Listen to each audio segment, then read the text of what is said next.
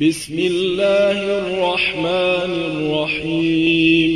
يسر موقع أنا السلفي أن يقدم لكم هذه المادة. الحمد لله رب العالمين. نحمده سبحانه وتعالى ونستعينه ونستغفره ونستهديه ونصلي ونسلم ونبارك على سيدنا محمد وعلى آله وصحبه أجمعين. ثم أما بعد نستكمل بإذن الله سبحانه وتعالى الكلام من خلال هذه التراجم التي ترجم لها الإمام البخاري رحمه الله تحت كتاب الاستسقاء. وكنا قد توقفنا عند قول الإمام البخاري رحمه الله باب الدعاء في الاستسقاء قائما. قال الإمام البخاري رحمه الله باب الدعاء في الاستسقاء قائما. ثم ذكر عن أبي إسحاق رحمه الله قال خرج عبد الله بن يزيد الأنصاري وخرج معه البراء بن عازب وزيد بن أرقم رضي الله عنهم فاستسقى فقام بهم على رجليه على غير منبر فاستغفر ثم صلى ركعتين يجهر بالقراءة ولم يؤذن ولم يقم. قال ولم يؤذن ولم يقم. قال أبو إسحاق ورأى عبد الله بن يزيد النبي صلى الله عليه وسلم. ثم ذكر رواية عن عباد بن تميم أن عمه وكان من أصحاب النبي صلى الله عليه وسلم أخبره أن النبي صلى الله عليه وسلم خرج بالناس يستسقي لهم فقام فدعا الله قائما ثم توجه قبل القبلة وحول رداءه فأسقوا. قال أن النبي صلى الله عليه وسلم خرج بالناس يستسقي لهم فقام فدعا الله قائما ثم توجه قبل القبلة وحول رداءه فأسقوا فبترجم الإمام البخاري رحمه الله هذه الترجمة الدعاء في الاستسقاء قائما. الدعاء في الاستسقاء قائما. طبعا مرت علينا روايات أن النبي صلى الله عليه وسلم لما كان يخطب في يوم الجمعة وجاء ذلك الأعرابي وشكى إلى النبي صلى الله عليه وسلم الجدب والقحط. فعلى ذلك دعا وهو قائم على المنبر. دعا وهو قائم على المنبر وكان على حاله مستدبر القبلة وأيضا يتوجه بوجهه إلى أو أقبل على وجه بوجهه على الناس. فدعا أن دون صلاة ودون أن يحول الرداء. هنا أيضا كما قال الإمام البخاري رحمه الله باب الدعاء في الاستسقاء قائمة ثم ذكر أن عبد الله بن يزيد الأنصاري وكان من الصحابة كما قال أبو إسحاق رضي الله عنه ورأى عبد الله بن يزيد النبي صلى الله عليه وسلم أي أنه يثبت له الصحبة. فخرج عبد الله بن يزيد الأنصاري وخرج بالناس إلى الصحراء إلى مصلى في الصحراء يستسقي لهم. وكان أميرا على الكوفة في من جهة عبد الله بن الزبير رضي الله عنه. خرج عبد الله بن يزيد الأنصاري وخرج معه البراء بن عازب وزيد بن أرقم رضي الله عنه. فاستسقى يبقى خرج لطلب السقيا. خرج إلى الصحراء فقام بهم على رجليه على غير منبر. يبقى قام أي أنه دعا قائما دعا قائما. فاستغفر أي دعا ربه سبحانه وتعالى قائما ويطلب السقيا من ربه سبحانه وتعالى. ثم صلى ركعتين يجهر بالقراءة ولم يؤذن ولم يقم. إن صلاة الاستسقاء يبقى ليس لها أذان وليس لها إقامة. ليس لها أذان وليس لها إقامة. ولكن كل ما في المسألة أن الإمام بيعد الناس في, مو في يوم ما وحتى يخرجون لصلاة الاستسقاء. يبقى كيف بيخرج الناس إلى صلاة الاستسقاء؟ ليس هناك يعني كلمة تجمع الناس أن يقول الصلاة جامعة أو ليس هناك أذان وليس هناك إقامة فكيف سيجتمع الناس؟ ذلك أن الإمام بيعد الناس في يوم أن يخرجوا معه إلى صلاة الاستسقاء.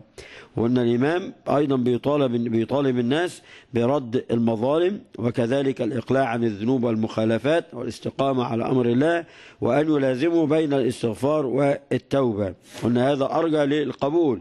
وأن لأن المطر بيمنع كنتيجة للمخالفات وكنتيجة لما يرتكبون من ذنوب معاصي أو لما للانحراف عن منهج الله سبحانه وتعالى. فيبقى بالتالي يتطلب هذا الأمر أن الإمام يعظ الناس ويذكرهم وأيضا أن الإمام يطالب الناس بالإقلاع عن الذنوب والمعاصي وكذلك أن يستقيموا على أمر ربهم سبحانه وتعالى ويردوا المظالم. فقام بمع رجليه على غير منبر فاستغفر أي دعا طلب السقيا. ثم صلى ركعتين يجر بالقراءة ولم يؤذن ولم يقيم يبقى بين هنا أن الدعاء كان سابقا أو طلب السقيا كان سابقا للصلاة كان سابقا للصلاة. أيضا الرواية الثانية رواية عن عباد بن تميم أن عمه رضي الله عنه وكان من أصحاب النبي صلى الله عليه وسلم أخبره أن النبي صلى الله عليه وسلم خرج بالناس يستسقي لهم فقام فدعا الله قائما يبقى كان الدعاء قائما. وبيظهر طبعا هنا التذلل والانكسار بين يدي الله سبحانه وتعالى. ثم توجه قبل القبلة وحول رداءه فأسقه. يبقى توجه قبل القبلة وحول رداءه فأسقه. يبقى ترى هل الصلاة بتكون قبل الدعاء ولا الدعاء بيكون قبل الصلاة؟ فعلى ذلك ذكر في الرواية السابقة اللي هي رواية كما بين أن عبد الله بن يزيد الأنصاري يبقى دعا ثم صلى وكان يجر بالقراءة قال الإمام البخاري رحمه الله باب الجهر بالقراءة في الاستسقاء. قال باب الجهر بالقراءة في الاستسقاء. وذكر أيضا هذه الرواية عن عباد بن تميم عن عمه رضي الله عنه. قال خرج النبي صلى الله عليه وسلم يستسقي فتوجه إلى القبلة يدعو وحول رداءه ثم صلى ركعتين جهر فيهما بالقراءة يبقى جعل الدعاء وطلب السقيا قبل الصلاة وقبل تحويل الرداء. قال فتوجه إلى القبلة يدعو وحول رداءه ثم صلى ركعتين جهر فيهما بالقراءة. يبقى في هذه الرواية أن النبي صلى الله عليه وسلم خرج يستسقي للقوم وبالتالي توجه إلى القبلة يدعو يبقى في يستقبل القبلة في الدعاء. غير طبعا يعني حال كما ذكر أنس بن مالك رضي الله عنه أن النبي صلى الله عليه وسلم كان بيخطب الجمعة ودخل ذلك الأعرابي ورفع هذه الشكوى إلى النبي صلى الله عليه وسلم فدعا وهو على حاله. يبقى كان مستدبر القبلة مقبل بوجه على الناس ودعا وهو قائم. دون أن يكون هناك صلاة وكذلك أو تحويل للرداء. هنا في هذه المسألة كما قال خرج النبي صلى الله عليه وسلم يستسقي وخرج للاستسقاء خاصة. يبقى الخروج ده كان للاستسقاء. غير طبعا لما كان بيخطب الجمعة وطلب منه ذلك المطلب لكن ده خرج الاستسقاء فتوجه إلى القبلة يدعو وحول الرداء ثم صلى ركعتين جهر فيهما بالقراءة. يبقى معناها طبعا في النهار في النهار. لكن يجهر فيها أيضا قراءة كما بيجهر في صلاة العيدين. ودي صلاة نهارية. يبقى في الصلاة النهارية دايما يبقى آدي الظهر آدي العصر يبقى لا جهر فيها. لكن في صلاة الفجر وهي أيضا هتعد صلاة نهارية لأنه لا نصلي الفجر إلا بعد طلوع الفجر. يبقى ده بداية اليوم.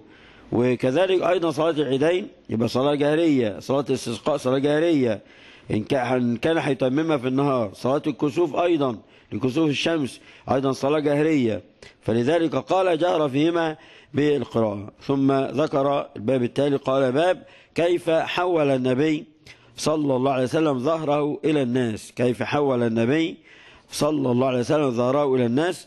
أيضا ذكر نفس الرواية عن عباد بن تميم. رواية واحدة ممكن الترجم لها أكثر من ترجمة.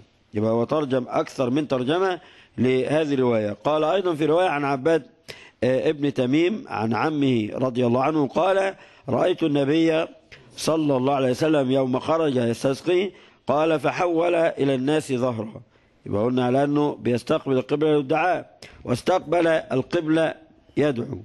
يبقى على ذلك يبقى حول ظهره للناس لأنه هيستقبل القبلة والناس يصطفون خلفه أيضا يؤمنون بدعائه. فقال خرج يستسقي فحول إلى الناس ظهره. واستقبل القبلة يدعو. استقبال القبلة يبقى هيستدبر الناس.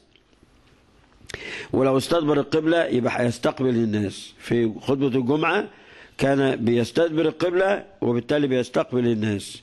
يبقى في الصلاة بنستقبل القبلة ونستدبر الناس. كذلك أيضا في الدعاء. قلنا في لما يكون على المنبر يوم الجمعة يبقى بيدعو على تلك الحال مستدبر القبلة مستقبل الناس. لكن بالنسبة لدعاء الاستسقاء يبقى على ذلك بيستقبل القبلة ويدعو. فلذلك قال فحول إلى الناس ظهره واستقبل القبلة يدعو ثم حول رداءه ثم صلى لنا ركعتين.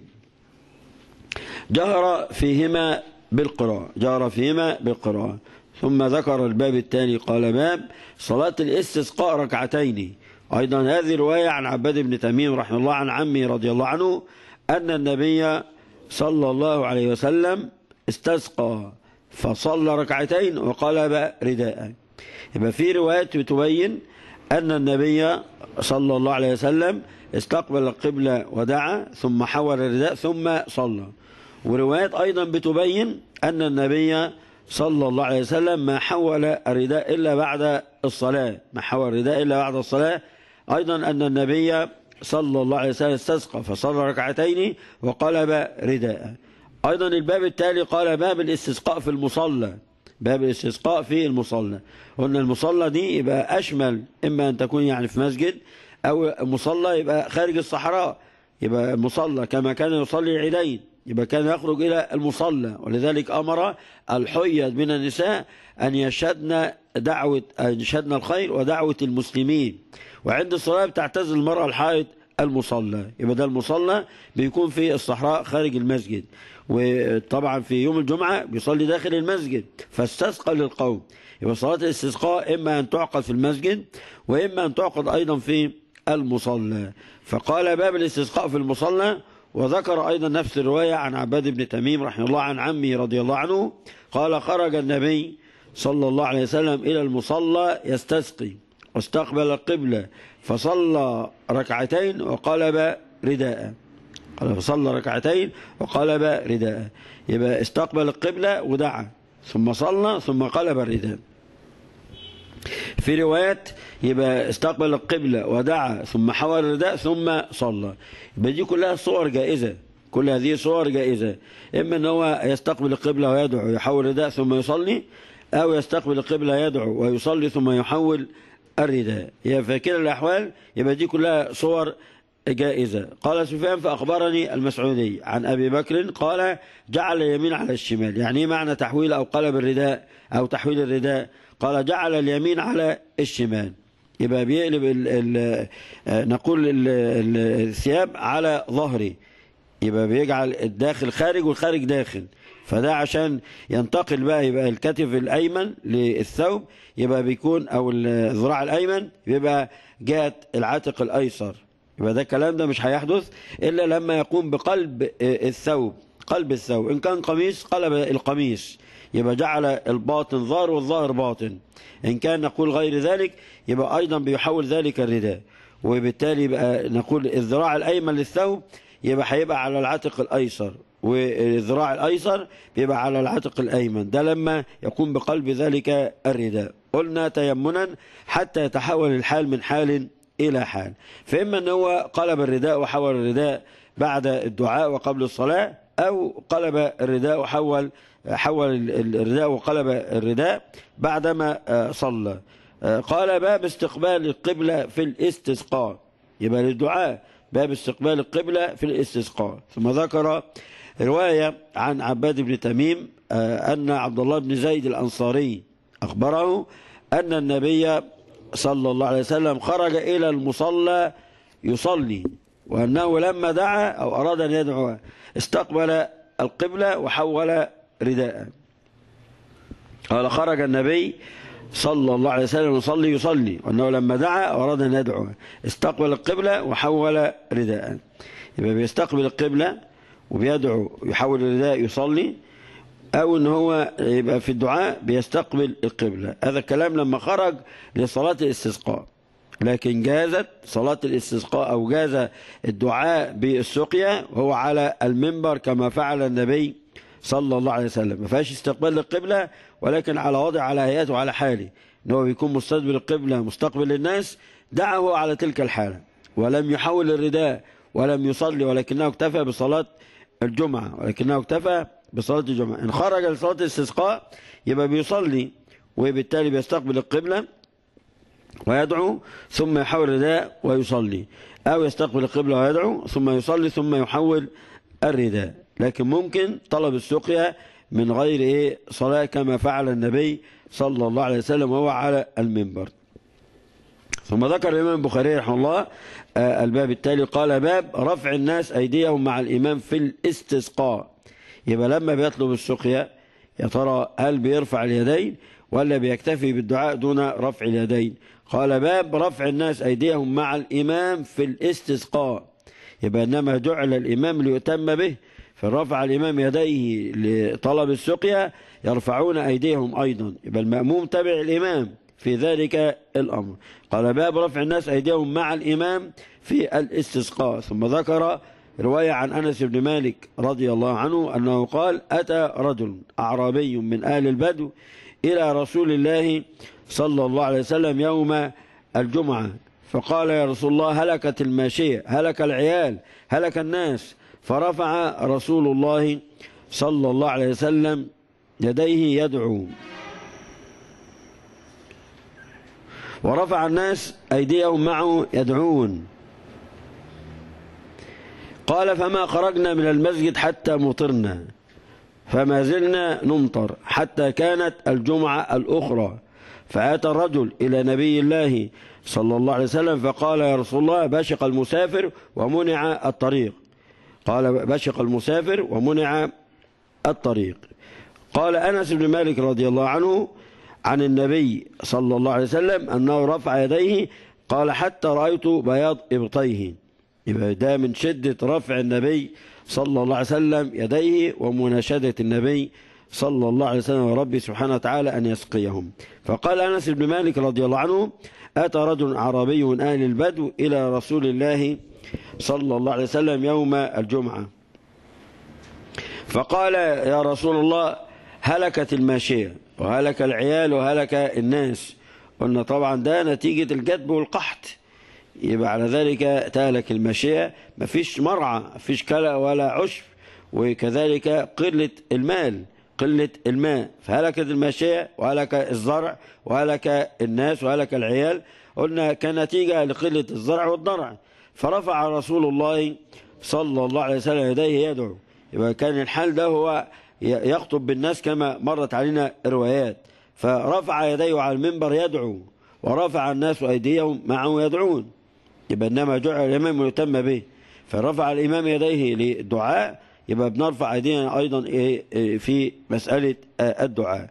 قال فما خرجنا من المسجد حتى مطرنا. والأصل في الدعاء هو رفع الأيدي. يعني الأصل كده في الدعاء هو رفع الأيدي. إلا في المواطن التي ورد التي لم يرد فيها رفع اليدين. قلنا كحال الانصراف من الصلاة يبقى فيه بندعو. ولكن ليس فيها رفع اليدين لأنه لم يرد عن النبي صلى الله عليه وسلم. لكن الدعاء ثابت. يبقى بعد الصلاة كما قال النبي صلى الله عليه وسلم لمعاذ بن جبل رضي الله عنه والله إني لا أحبك. فلا تدع دبر كل صلاة أن تقول اللهم أعني على ذكرك وشكرك وحسن عبادتك. يبقى, يبقى على ذلك ده دعاء. علمه ذلك الدعاء.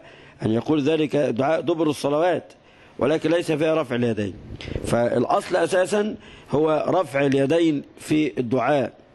وإلا في المواطن أو مواضع التي ليس فيها رفع اليدين كحال الإمام لما بيدعو في يوم الجمعة يبقى لا يرفع اليدين يبقى كما أن النبي صلى الله عليه وسلم يرفع يديه وكذلك أيضا هذه دبر الصلوات لكن الأصل هو رفع اليدين. والله تعالى كما قال النبي صلى الله عليه وسلم يستحي من عبدي أن يرد يديه صفرا يبقى معنى كده بيرفع يديه في الدعاء. وده الأصل كده. يبقى زي ما إحنا نقوله الأصل إنما الأعمال بالنيات وإن الأعمال مفتقرة إلى النية. لكن في أعمال لا تفتقر إلى نية. عمل يثاب عليه الإنسان حتى يعني لم يكن جامعا للنية. زي كما قال وفي بضع أحدكم صدقة. تحتاج نية لا يحتاج الأمر نية عشان كده تعجبت الصحابة رضي الله عنه قال كيف يعني يعطى الإنسان هذه الصدقة؟ وبيأتي حظه وأيضا بيقضي الشهوة. فقال رأيت من وضعها في حرام ما كان عليه وزر فكذلك من وضعها في حلال كان له أجر. يبقى لذلك يبقى ده ما تحتاجش النية. كما قال النبي صلى الله عليه وسلم من غرس غرسا أو زرع زرعا فأكل منه إنسان أو بهيمة أو طير كان له صدقة. يبقى الزارع ده اللي بيفلح الأرض هل بينتوي الزرعة دي كل من أكل منها وساب على ذلك؟ لا من غير نية. حتى ما سرق منه كما قال في بعض الروايات كما قال النبي صلى الله عليه وسلم في بعض الروايات يبقى من غرس غرسا أو زرع زرعا فأكل منه بهيمة أو إنسان أو طير فكان له صدقة حتى ما سرق منه حتى ما سرق منه. يبقى ده على ذلك يبقى الطير ده يأتي ويأخذ الحب ونقول ده على غير رغبة الزارع أساسا على غير رغبة الزارع ولكن مع ذلك يبقى بيثاب على ذلك. يبقى ده يا ترى يحتاج عند الزراعة كده لنية لا. يبقى ده عمل يثاب عليه. فيبقى يأتي بعض الأعمال السنة بينت أن العبد يثاب عليها ولا يحتاج إلى نية كما بينا وفي بضع أحدكم صدقة. وفي بضع أحدكم صدقة. يبقى على ذلك. غير طبعا يرفع رجل لقمة إلى في امرأة يحتسبها. يبقى لازم يكون فيها النية. حتى النفقة أي نفقة ينفقها رجل على امرأة يحتسبها. يبقى لازم فيها احتساب الأجر والثواب طلب الأجر والثواب من الله سبحانه وتعالى. يبقى ممكن أعمال كده يبقى أمور في حياة الإنسان بتمر. هو لو قرن بها النية يثاب عليها لو لم يقم بها النية يبقى لا يثاب على ذلك الأمر. يبقى حتى اللقمة يرفع في امرأته قال يحتسبها. يبقى ده كلام النبي صلى الله عليه وسلم يبين إن إحنا كلنا نية نوايا في هذا الأمر. لكن وفي أحدكم صدقة دي من يبقى ليس هناك نية. لكن الأصل كده إنما الأعمال بالنيات والأعمال مفتقرة إلى النية إلا ما ورد بالدليل. هنا الأصل في الدعاء رفع اليدين إلا ما ورد به الدليل. فلذلك قال أنس بن مالك رضي الله عنه فرفع رسول الله صلى الله عليه وسلم يديه يدعو ورفع الناس أيديهم معه يدعون. قال فما خرجنا من المسجد حتى مطرنا. يبقى جات الإجابة فورية. إحنا قلنا دايما الدعاء بيعطى به الإنسان إحدى ثلاث. إما أن هو يعطى عين ما طلب أو يدفع عنه من البلد بقدرها أو أن هو يدخر له ذلك ثواب الدعاء يوم القيامة. أنه الإنسان لابد أن يكون فقيها. قلنا لماذا؟ لأن البعض يدعو. يبقى نزلت به نازلة وظل يدعو فترة طويلة ثم انقطع. لماذا انقطعت يا فلان؟ يبقى قال دعوت ودعوت ولكن لم يستجب لي. فبينقطع. نقول له ده طبعا نتيجة الجهل وفقه الأحكام يدفع الإنسان إلى أو يحرك الإنسان إلى الاستمرار والاستدامة. العلم إن دي طاعة وعبودية لله سبحانه وتعالى.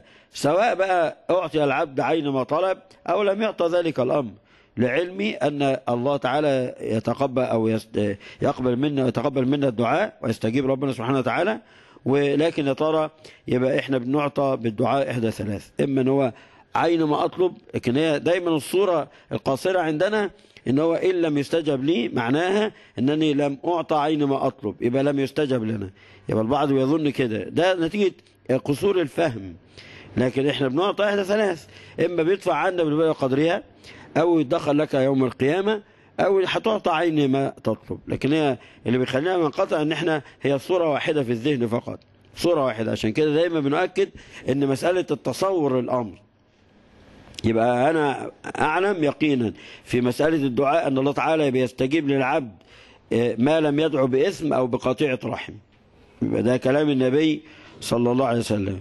وأعلم أيضا يقينا كما قال النبي صلى الله عليه وسلم أن الله تعالى يعطي العبد إحدى ثلاث إما عين ما أطلب وإما يدخل لك هذا الكلام أو يدخل لك ثواب الدعاء أو أنه يدفع عنك بالبلاء بقدرها. وأيضا بنؤكد دايما أن النبي صلى الله عليه وسلم دعا دعا دعا على كفار قريش لما وضعوا سال الجزور على ظهر النبي صلى الله عليه وسلم وبالتالي دعا عليهم.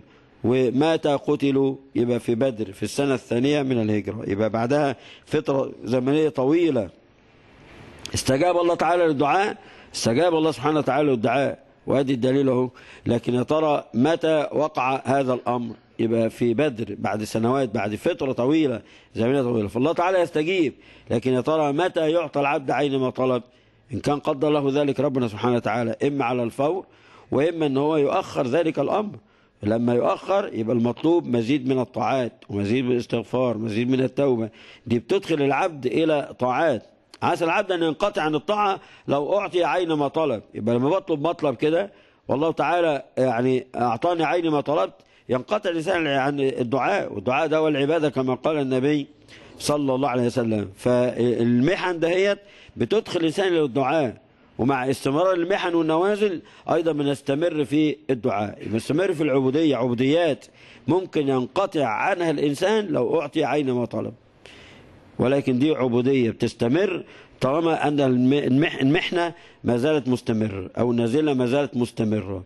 ففيها مزيد أيضا من الاستغفار مزيد من التوبة وكذلك الإنابة الله سبحانه وتعالى كثرة الدعاء وملازمة الدعاء. كل ده اللي أدخلنا إليها المنح المحنة دهيت فهي محنة لكنها فيها منح فيها منح ورحمات من الله سبحانه وتعالى. لولا هذه البلية يعني ما استمر الإنسان في ذلك الدعاء وما تضرع إلى رب سبحانه وتعالى. ولذلك الله عز وجل كما بين وكما قال ولقد أرسلنا إلى أمم من قبلك فأخذناهم بالبأساء والضراء لعلهم يتضرعون.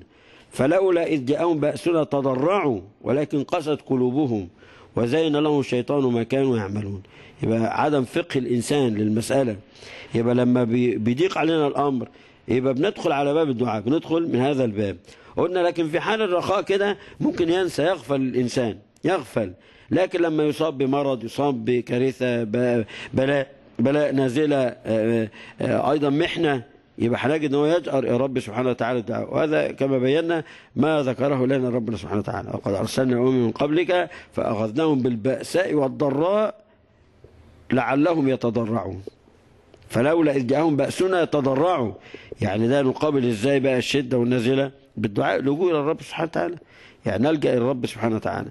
فيبقى ده باب إحنا بيدخل العبد من خلاله إلى تلك الطاعة التي من الممكن أن يكون غافلا عنها أو ليس بمكثر منها فإيه اللي هيدخلنا دايما المحن. فنستمر واعبد ربك حتى يأتيك اليقين. إمتى لغاية لما ندعو؟ ندعو لغاية إمتى؟ هل لما يعطى العبد عين ما طلب؟ لا. يعني إن أعطى العبد عين ما طلب فهذه العبادة عبادة مستمرة.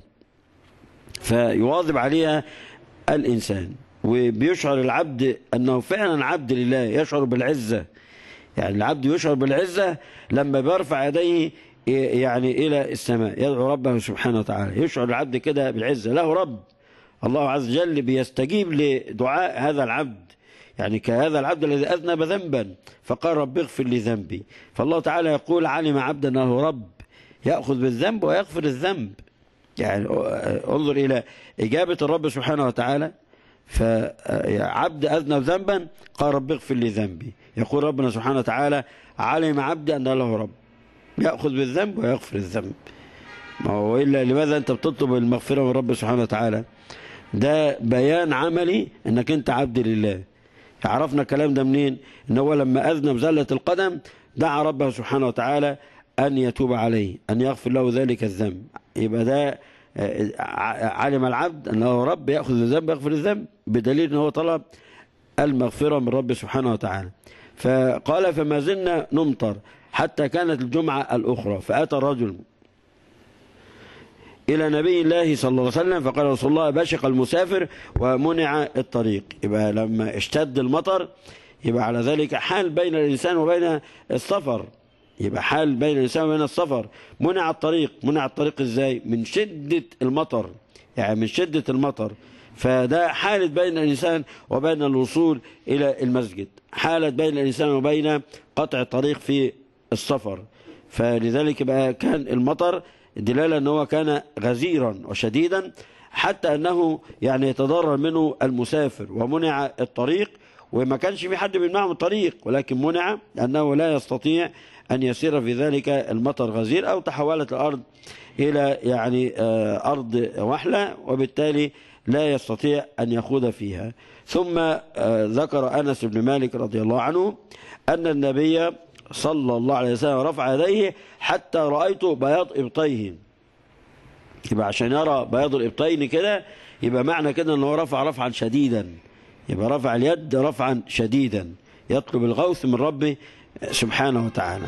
ثم ذكر الباب التالي قال باب رفع الإمام يده في الاستسقاء. قال الإمام البخاري رحمه الله باب رفع الإمام يده في الاستسقاء. وذكر أيضا هذه رواية عن أنس بن مالك رضي الله عنه.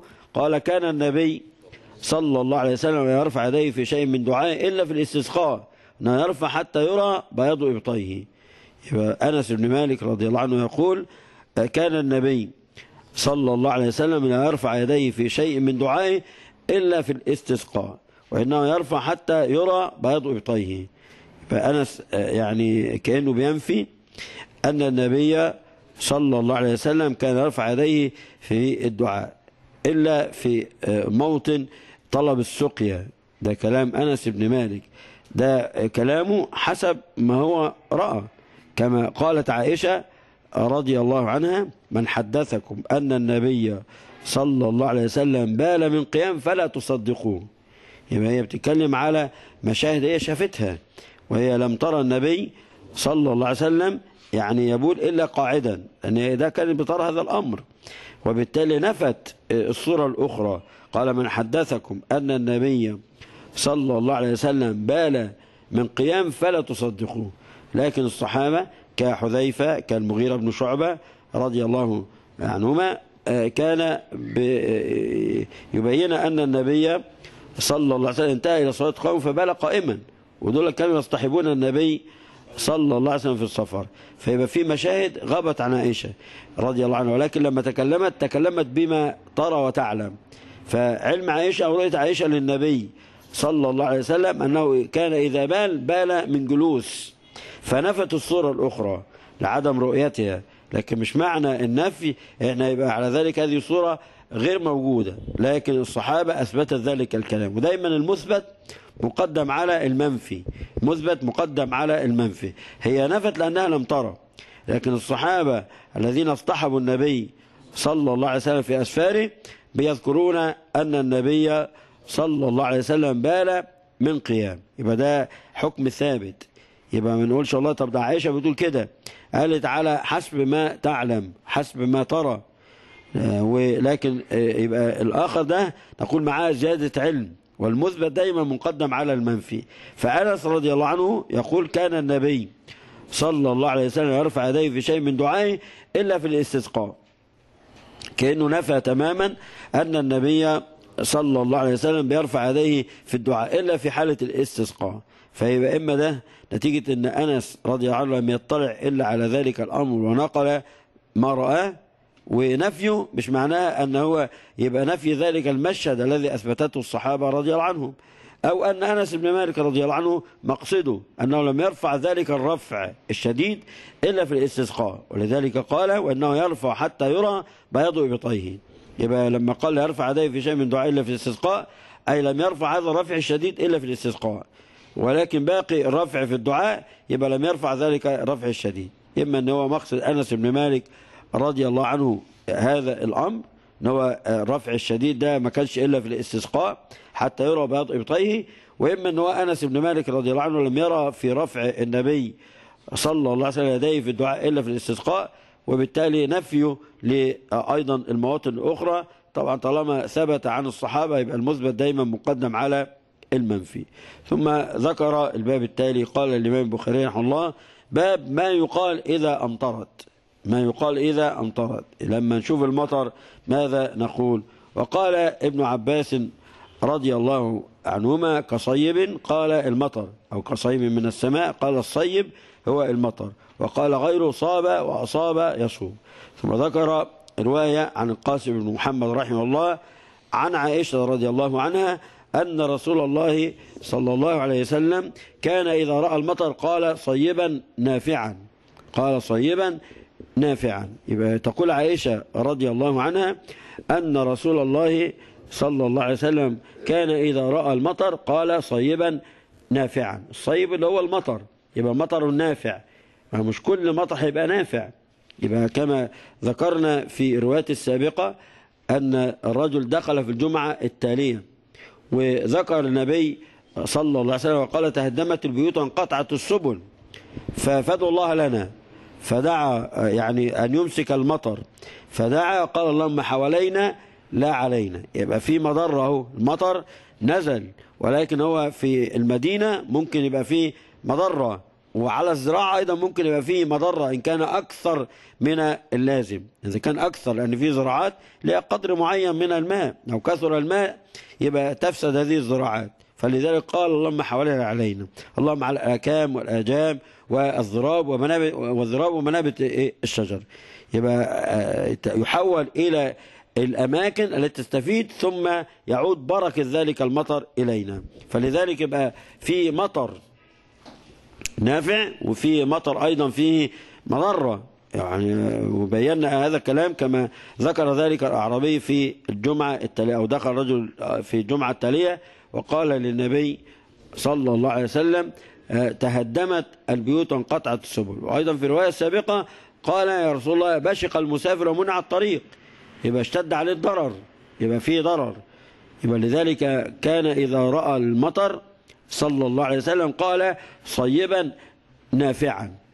يبقى المطر يكون نافع. يبقى المطر يكون نافع إن هو يبقى بركة هذا المطر هنراها من خلال الثمار والزروع. زي نقول اللهم ارزقنا علما نافعا مش علم بس لكن العلم علمان كما قال الحسن البصري رحمه الله. علم نافع اللي إحنا بنطبقه وعلم وحجة لله عز وجل على الإنسان اللي أنت لا تطبقه. ما القرآن حجة لك أو عليك. يبقى القرآن حجة لك وعليك حجة لك لما إحنا بنطبق. حجة عليك يبقى علمنا الحكم ولم نطبق. يبقى حجة على الإنسان. فكذلك اللهم ارزقنا علما نافعا. اللهم إنا نسألك علما نافعا. يبقى العلم النافع اللي إحنا بننتفع به وأيضا الكلام ده بينطبق المال. يبقى في المال النافع اللي هو الذي ينتفع به الإنسان.